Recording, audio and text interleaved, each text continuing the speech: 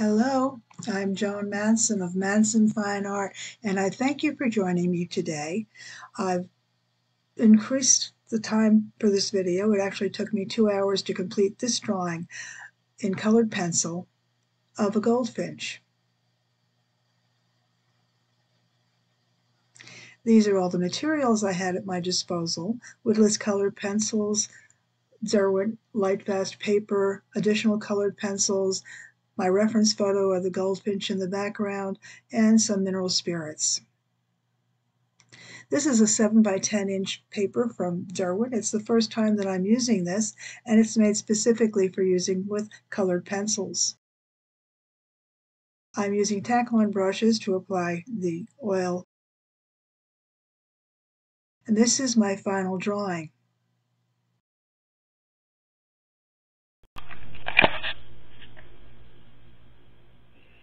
Today, I'm going to be working with two new materials, Derwent's Light Fast Paper and Ashleigh um, Nicole Art's Woodless Pencils. They're colored pencils, and I have never used Woodless colored pencils before. I am going to be working with this reference photo. This is a um, Goldfinch. So i downloaded it from Reference Photos USA. The um, the pencils, 36 cent set, come in three tubes with the beautiful, beautiful colors. And the exciting thing is that you can use all of the pencil. I used woodless graphite pencils, and I found those very interesting and enjoyable to use, and I'm looking forward to seeing how these handle. If I'm not pleased with what I'm getting, if I feel like I need something else, I have all of these. I have um, Derwent Lightfast pencils, a small set of 12. I have uh, 36 the Faber-Castell Polychromos. I have a 20 pencil set of a Caran d'Ache Luminance pencils, and I have the Derwent drawing pencils. So I think I'm pr covered pretty well in case something doesn't work just right or if I think I need a finer detailing. Um, I have already drawn my image. This is, oh, this is a. Um, I think I could remember the size of the paper. 7 by 10 inch paper and 100% um, cotton. Uh, this is 140 pound paper, acid free, and of course like that as it says. I have darkened the areas where the pencil coloring is darkened and left the areas where there's white exposed uh, and lighter uh, shades exposed much lighter so I can erase them more easily. I have a variety of erasers, that's my life. Um, this is a Factis black eraser. It's supposed to be for colored pencils. This is a uh, Rasoplast from uh, Staedtler. I also, should I really need it, have gum erasers. The um, the kneaded eraser isn't necessarily my favorite but you can make it in points and work in, in small areas and you can dab with it, which is always helpful. Uh, and at some point I'm going to be using odorless uh, mineral thinner. This is Mineral Spirits. This one is from U.S. Art Supply. I have a teeny tiny cup that used to hold yogurt, and that's where I'm going to put when I'm ready. I have a couple of Taklon brushes and they're just a little bit stiffer. They're, you know, they're kind of the stiffness of an acrylic brush. I have a filbert, which is like my favorite shape of the brushes in the world, and then this one is a flat edge. Not sure which I'll need or if I'll need both. And I have selected all of my colors in the woodless pencil. I'm not going for a lot of blending in this case because I'm just experimenting. I will be doing summing some. I have the, um, it's, it's, you can't really read it well, but this is a golden yellow. And this is cardinal red, which seems appropriate for a bird. I also have a lighter red. This is permanent red. For the body, I have the um, ochre, the brown ochre. I have white. I have gray. I have a brownish black. I'll be using those in shading, and I have black. And then I also have uh, peach color. And the peach I'm going to be using on, on the legs and possibly into the white a little bit. Not sure. Put those over here for a moment. Put these over here for the moment. Now, the first thing that I'm going to do has nothing to do with the colored pencils. I'm going to use my embossing tool. Uh, embossing tools are used for the act of embossing, which I am not very good at. Um, but this is a technique that I learned a couple of years ago, watching YouTube videos and other people. I I find occasionally I do reinvent the wheel or come up with something um, that most people don't do. But I saw other people using an embossing tool, a nail, a retracted pen or mechanical pencil to create hash lines so that when the pencil goes over an area, it doesn't do the background. It leaves that white. Well, I'm going to do that here in this white section and in this section right here as well. Not in all of them, but in, in a few of them. I'm not going to do it with the beak. I just, just in the areas where there are feathers, and I'm not going to be able to make that distinction with um, on the white. So I do have a white pencil. This paper is off-white, so I'm thinking I'll lighten it a bit and put that up there. And, and there's white going around here. I'm not going to touch that, but when I come up here, I'm just pressing back and forth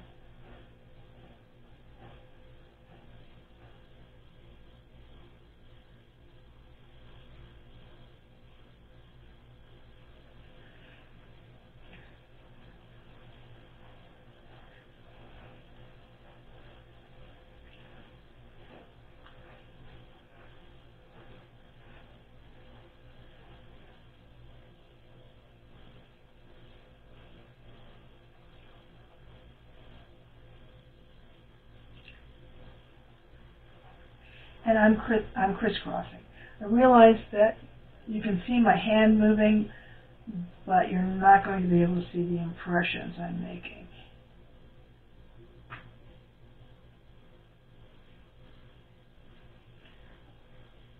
And then I'm going to come back over here as well and just some areas where it overlaps the ochre color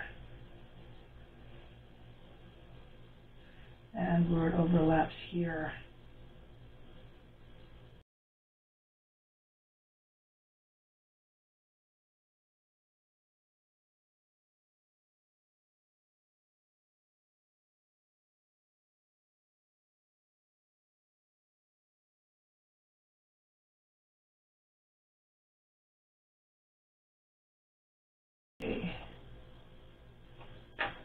I'm going to start with the black markings. Oops, there's one more section I want to do. Um,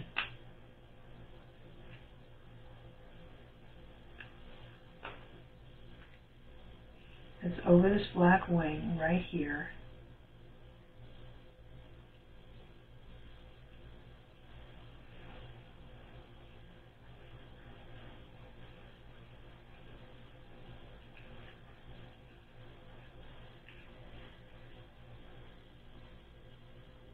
Okay. I'm start with the black color pencil and to work the same way that I would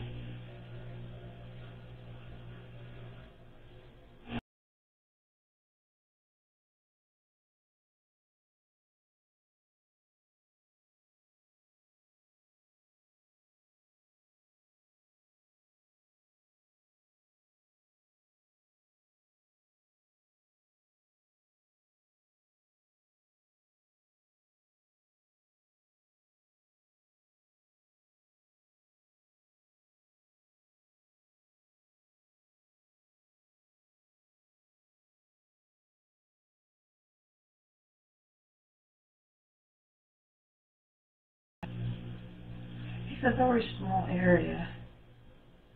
I'm just doing small marks.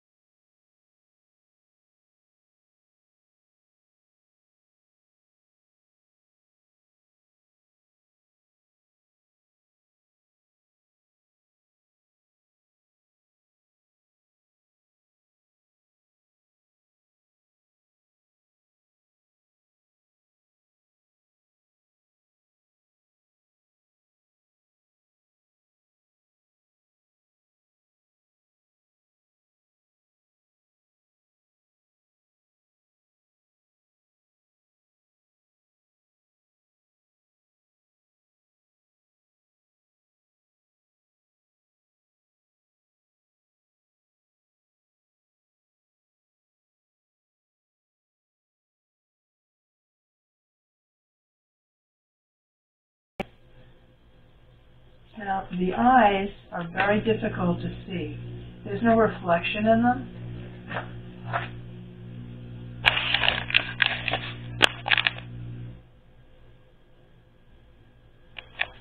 See the original reference photo? There is no reflection in those eyes. So I'm going to put one there. And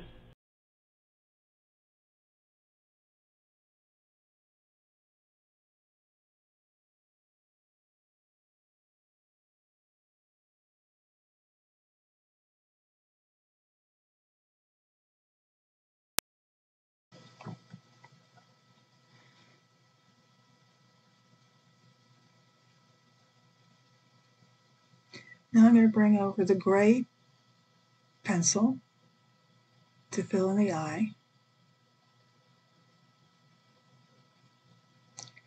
And then the black to bring in the shadow and the edges. And leaving that spot so I have gleam in both eyes. And I can lighten it up later on so it stands out a little bit more.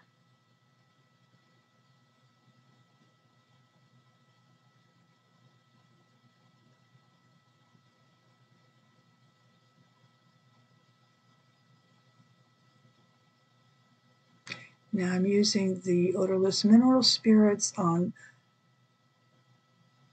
uh, a Taklon brush, blending in the black feathers.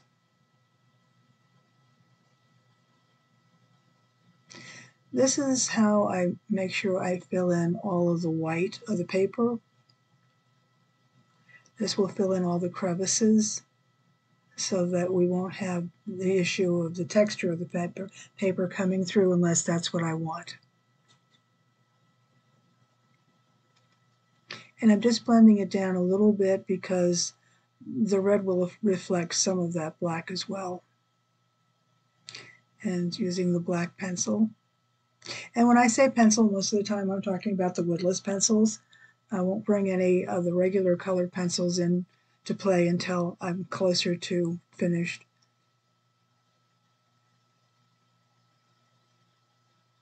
I have to let that dry for a bit and I'm going to move on to working on the body. This is the uh, brown ochre.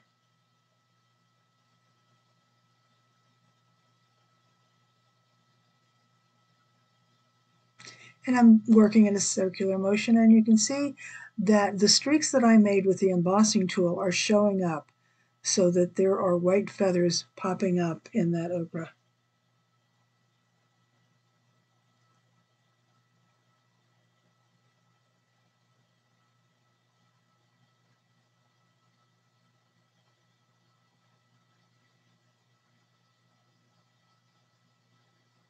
It really is a handy trick.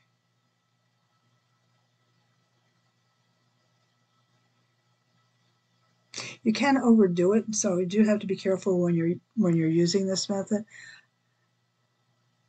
And it does work beautifully on furred animals as well. Doesn't work as an afterthought, and it really doesn't work very well when you're laying down a color and then bringing another on top of it, hoping to leave that lighter color up. Um, I have tried it. I've not had success with it, although you could try it and find that you do.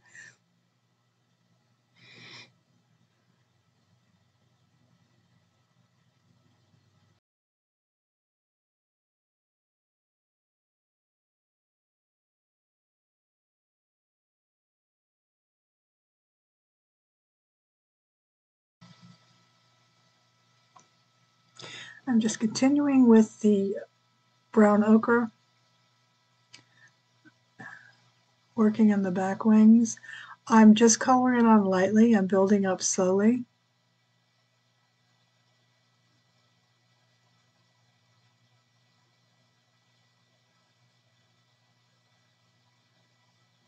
Now, of course, this is two times, so I'm building up a lot more slowly in reality.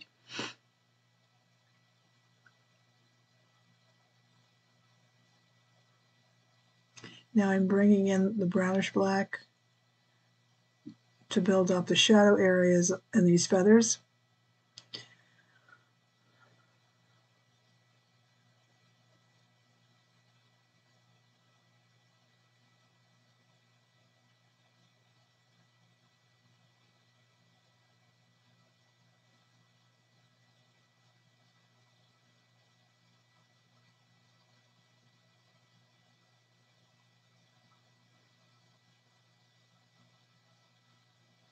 Now I'm bringing in the mineral spirits with my brush.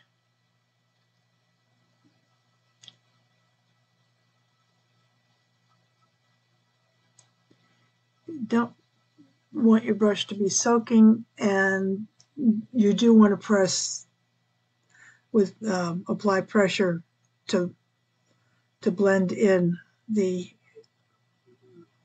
pencil to the paper.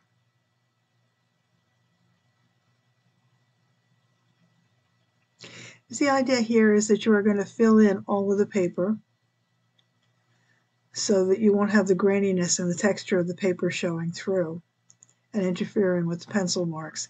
I'm using a luminance pencil, uh, another a brown,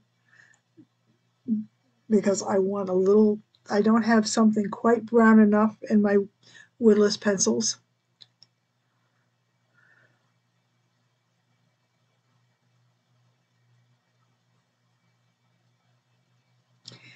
Wasn't any particular reason that I chose the luminance. It just happened to be, I saw the color I wanted and went with it.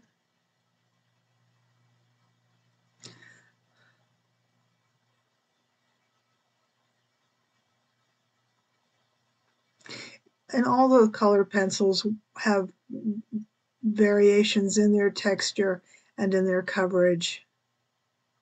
And if I pick one up and find that it's not giving me the coverage I need, I look for a color matching or close to it and use it instead from another set.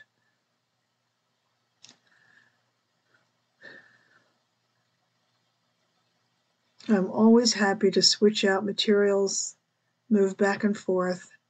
Flexibility is so important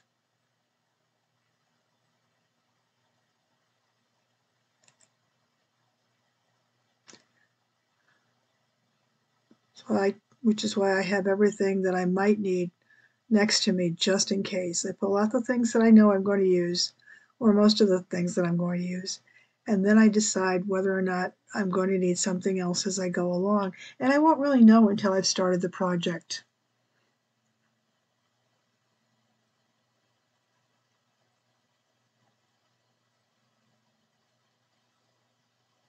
It's not quite the same for oil and acrylic paints. I can always blend down another color um, while I'm working.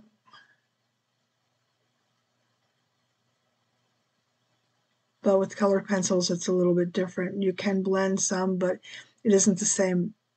It doesn't work quite as easily or as readily.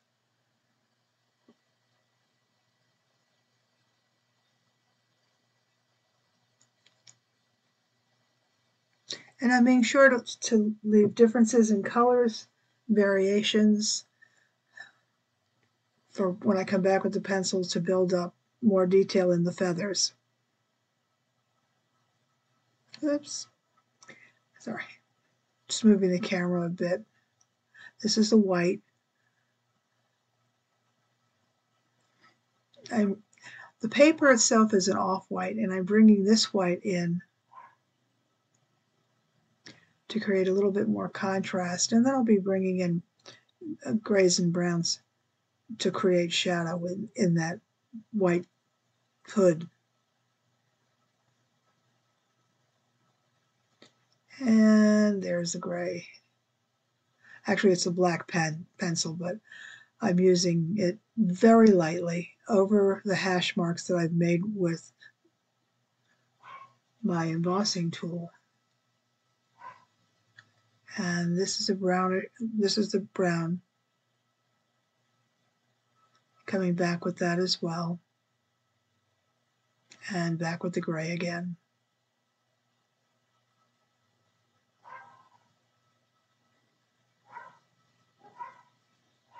Doggies barking in the background.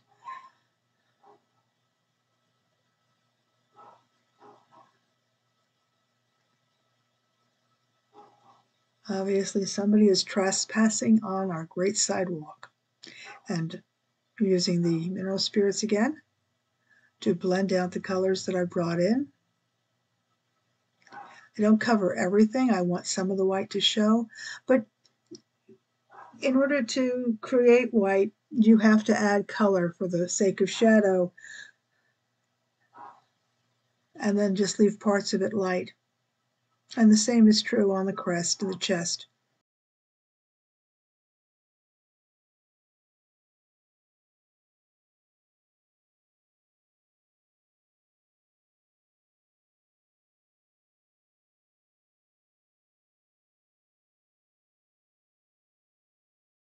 I'm not covering everything, just the shadowed areas.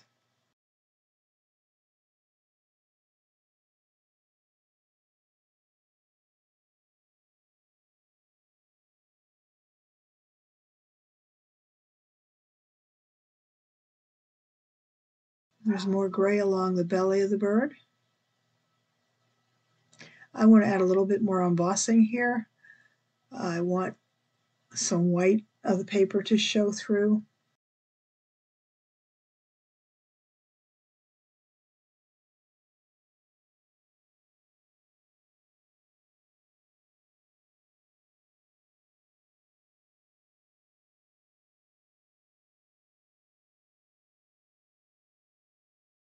I'm applying this gray pencil very lightly.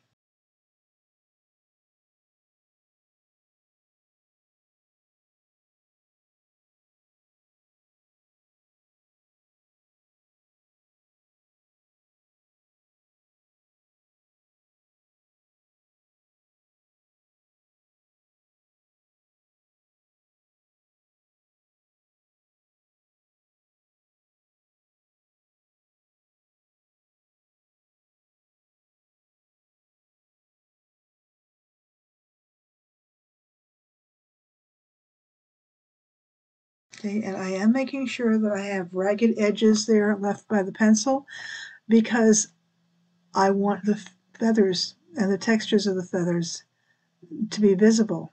And I'll be adding more as I go along, but I want I want them to be visible. I want it to look like there are feathers overlaying feathers.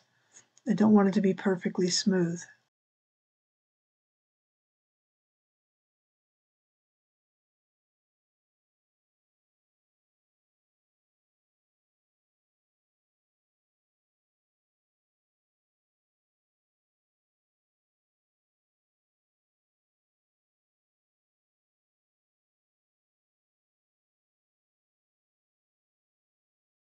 Just how overall I'm very pleased with how these woodless pencils are working.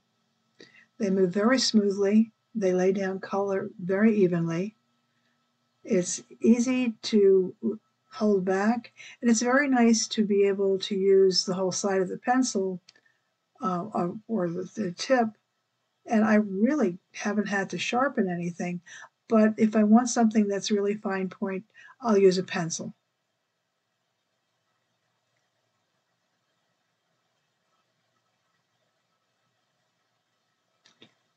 And bringing in the black and the brownish brown, blackish brown, brownish black. And now I'm going to bring in the odorless mineral spirit, blending in the colors that I've just laid down. Still being careful, I want to leave texture. I don't want it to be smooth.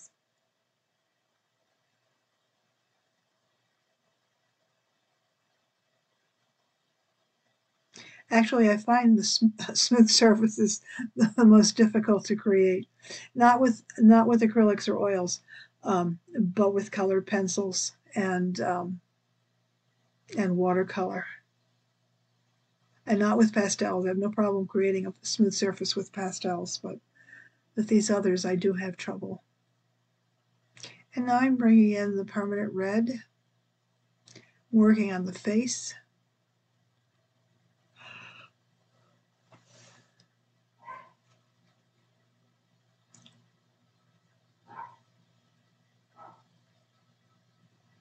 I'm moving the pencil in the direction of the feathers. I'm erasing away the line that's been there, the pencil line. I don't want it getting in my way.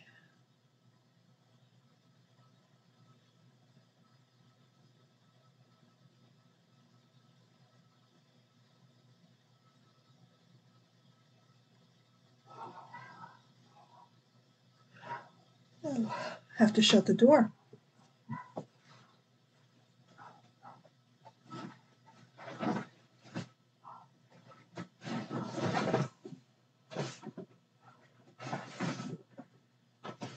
The puppies are just absolutely vehement about trespassers. So what if it's a public sidewalk? Okay, now I'm using the darker red, bringing in shadow, and depth contrast.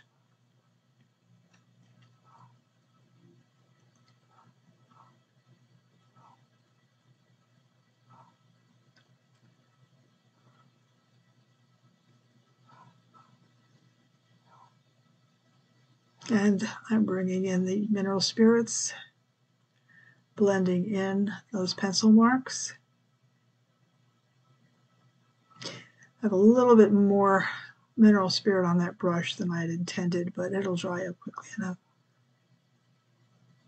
And if you see the mineral spirit blending out onto the paper away from your image, it will dry away. It'll, it'll evaporate and the mark will be gone. So don't worry about dealing with it.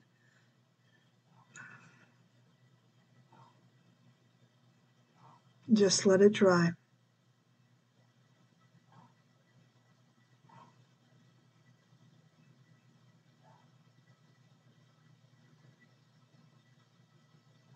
Because the mineral spirit will spread in. I'm using watercolor paper.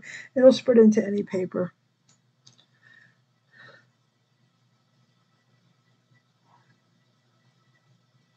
And now I'm applying the yellow, getting rid of the extra lines from the graphite, and I'm bringing in other lines with the black pencil to create a difference or show you a difference between feathers. So you know it's not just one long, wide feather.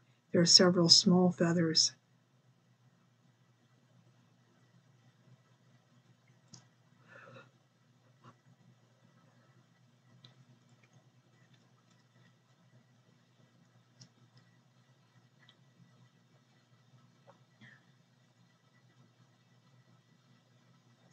Bringing in my sienna red, sienna brown, excuse me for some more differentiation.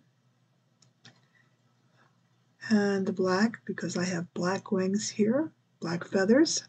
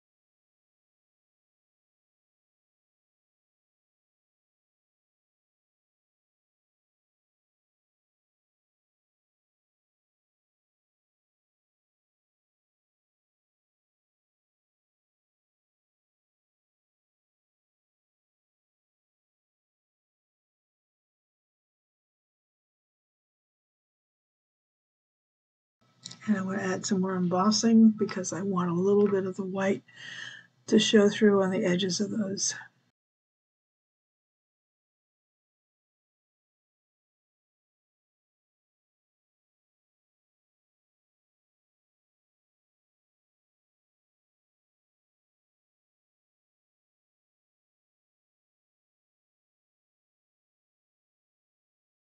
Anything about working on a pad, you can just turn that paper around and color in any direction you need to. It's something you can do at an easel with a canvas, but it's a lot trickier. And I know I've done it.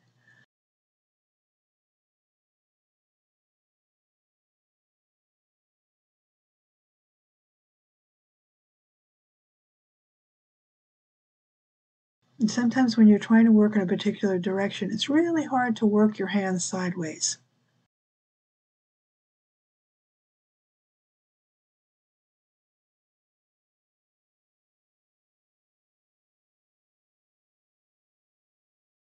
Painting can be tricky, but it's fun.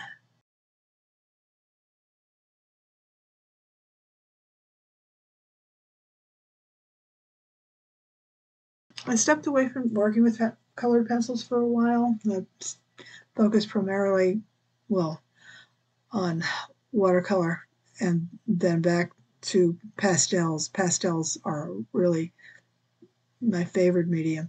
And I work with pastel pencils. I've only recently started to add colored pencils with my pastel work. I work with pan pastels.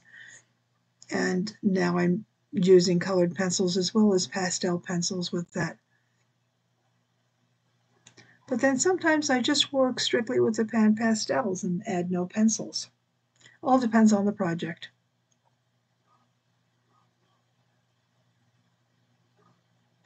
I'm using the sienna to add additional feathers. I like to have stray feathers. It, for me, gives the bird a greater look of reality, of realism.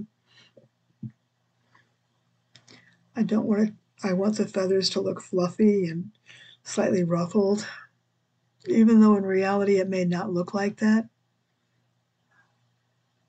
That I need to see the different levels of feathers overlapping each other as well.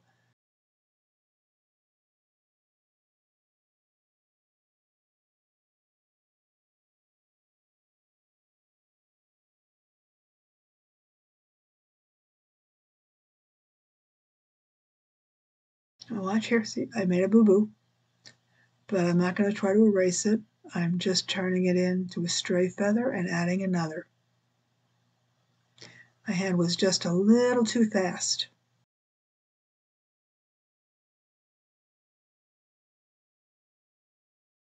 And bringing in the white Chinese white pencil from Derwent, the drawing pencils. Almost always it is the strongest and best white pencil to use. Sometimes it doesn't always work on other colored pencils.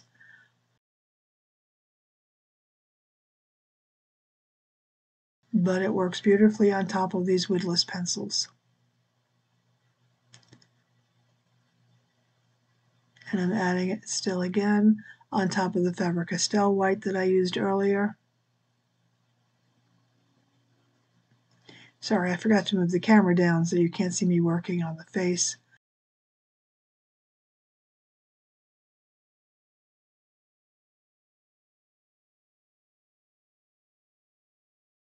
There we go. Just putting highlights into the feathers on the face, working with the direction of the feathers. And now I'm working on the beak.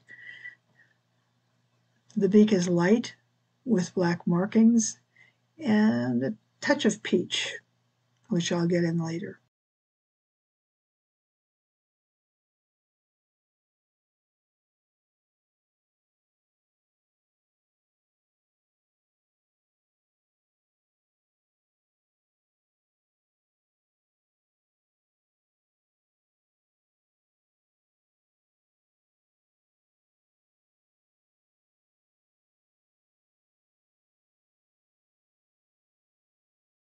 Bringing in that brown again over that shoulder wing.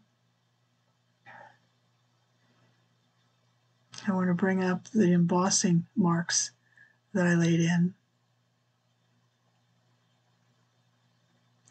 And add some shadows of feathers overlapping feathers.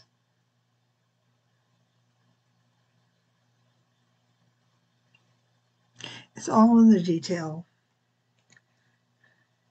And as I said, I, I'm not a super realist, I'm not a hyper realist, I'm not a photorealist. They're all different schools. Um, they all have slightly different philosophies, and they require a great deal more patience and a much steadier hand than I have.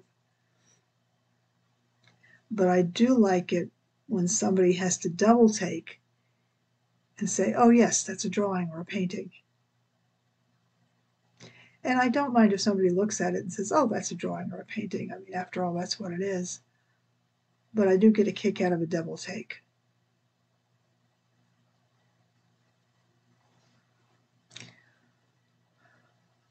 I want very much to try to capture the character.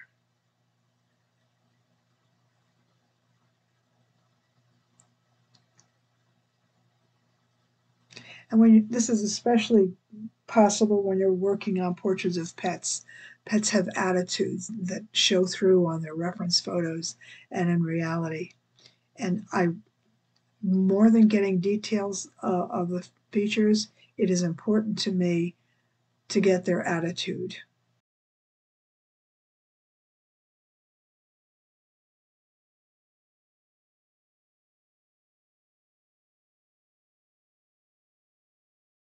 Now, to this, to me, this goldfinch has angry eyes, as if I'm intruding in it, her space and keeping her from doing whatever it is that she wants to do because she's looking back at me. Now, of course, that's all made up. I, this is a reference photo I got from wildlife reference photos. And she might have had that attitude with the photographer who was taking the, the picture because I'm sure she spotted him or her.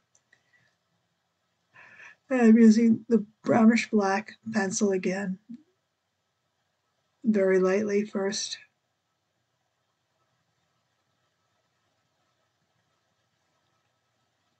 Moving in smooth strokes, follow the grain of the wood.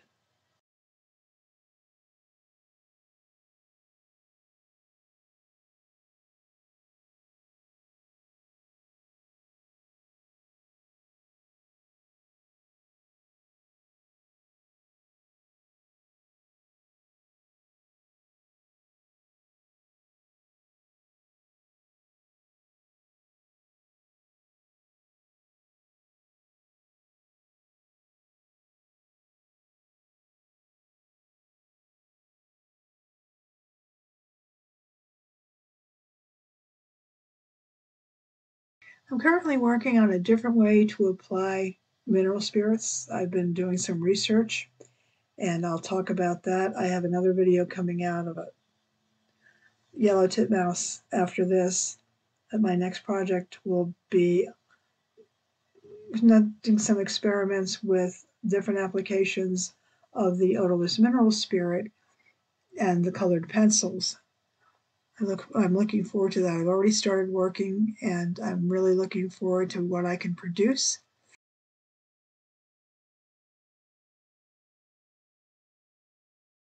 And I'm, I'll be sharing it with you in the next two or three weeks.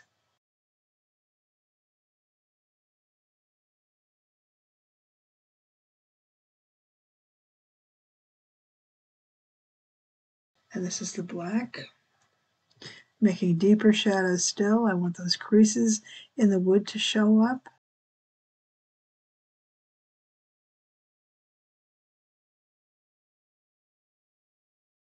It's always my, been my contention that you can't take a bad photograph of rock formations or wood. You can mess up when you're trying to draw them or paint them, but they make beautiful photographs. And I think if I were a photographer, um, I take a decent photo, but I'm not a professional photographer. But if I were, I, I think I would absolutely specialize in rock formations and gnarled trees. They're so beautiful, so interesting.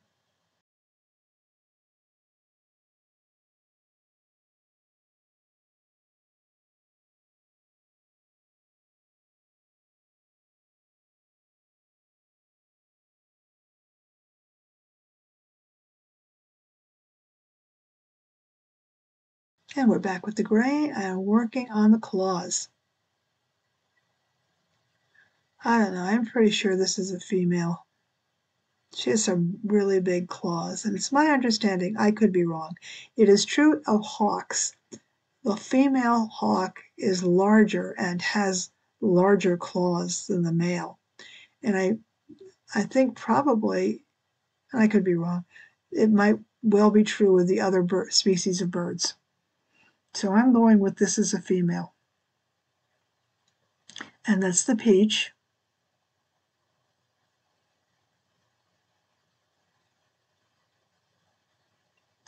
My other option in doing this would have been using the brown very lightly and coating over it with a very light layer of the permanent red to create a peach. But I, I had I had the pencil, so why not use it?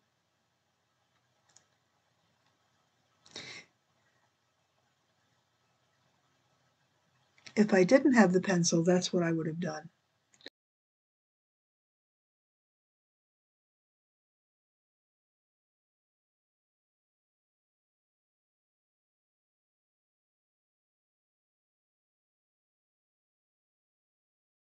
Putting in creases on the skin.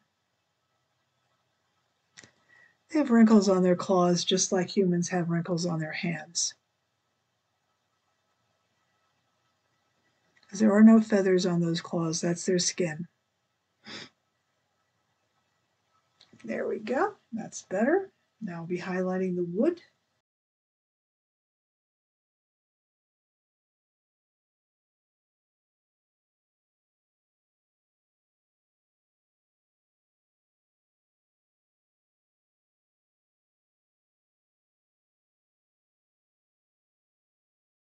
Sometimes when I'm doing the wood that a bird is standing on, I make it up because I don't necessarily like the piece of wood or the branch that I'm looking at. So I'll change it and make it up uh, to something I prefer.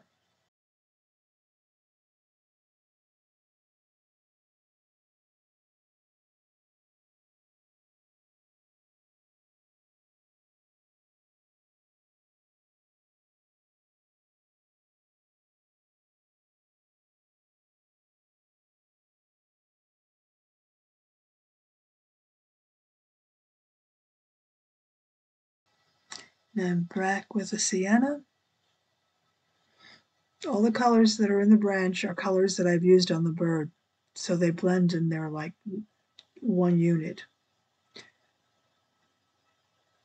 Now I'm going to work on the beak. I'm adding a little peach around the bottom there and the sides.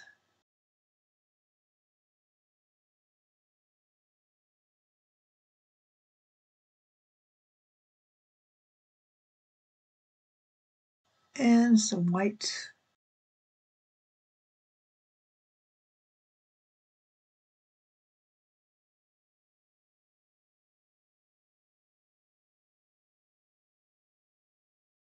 I'm sorry I didn't bring this down enough. There we go, that's much better. Get a better look at it.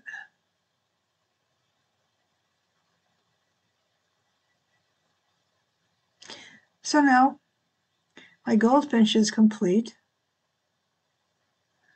And I thank you very much for having joined me. I hope that you'll try working with colored pencils if you don't already. And you might want to try those woodless pencils. They weren't very expensive. Um, and Ashleigh Nicole, and I bought them through Amazon. And of course, there are all the other wonderful colored pencils that you can use. If you've enjoyed the video, I'd appreciate a thumbs up. And if you'd like to subscribe, just click on that subscribe button and I'll see you again.